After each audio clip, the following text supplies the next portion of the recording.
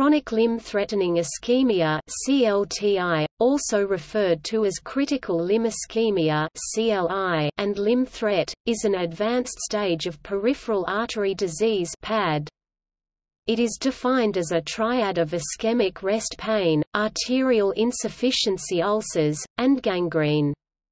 The latter two conditions are jointly referred to as tissue loss, reflecting the development of surface damage to the limb tissue due to the most severe stage of ischemia. Compared to the other manifestation of PAD, intermittent claudication, CLI has a negative prognosis within a year after the initial diagnosis, with one-year amputation rates of approximately 12% and mortality of 50% at 5 years and 70% at 10 years.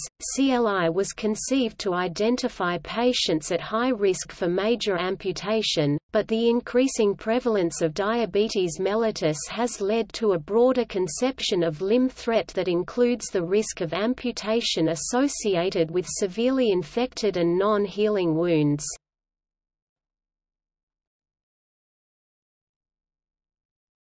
Topic: Types. Critical limb ischemia is further subdivided into rest pain and tissue loss. Topic: Rest pain. Rest pain is a continuous burning pain of the lower leg or feet. It begins, or is aggravated, after reclining or elevating the limb and is relieved by sitting or standing. It is more severe than intermittent claudication, which is also a pain in the legs from arterial insufficiency.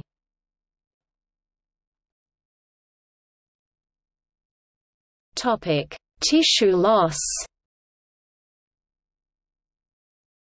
Tissue loss is the development of arterial insufficiency ulcers or gangrene due to peripheral artery disease.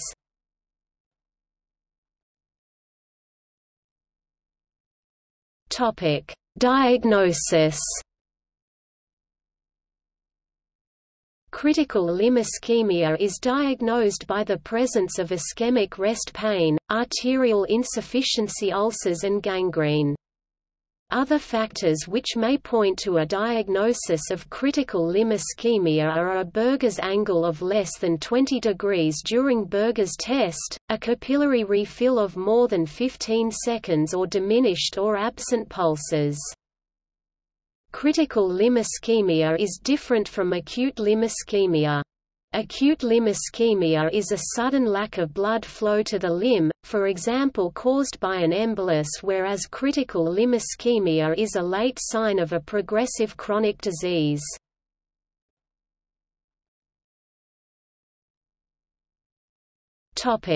Treatment Treatment mirrors that of other symptoms of peripheral artery disease, and includes modifying risk factors, revascularization via vascular bypass or angioplasty, and in the case of tissue loss, wound debridement.